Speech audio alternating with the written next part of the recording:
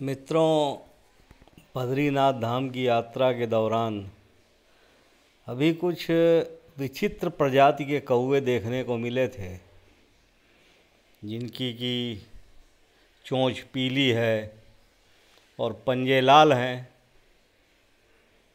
पहली बार देखा था इस तरीके के कौओं को, इनका चित्र लिया और आप तक पहुँचा रहे हैं, आप भी देखिए। अच्छा लगे। तो लाइक तो बनता ही है। धन्यवाद।